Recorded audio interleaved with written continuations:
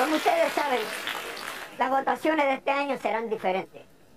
El estudiante que acumule la mayoría de los seguidores será coronado rey y reina del baile.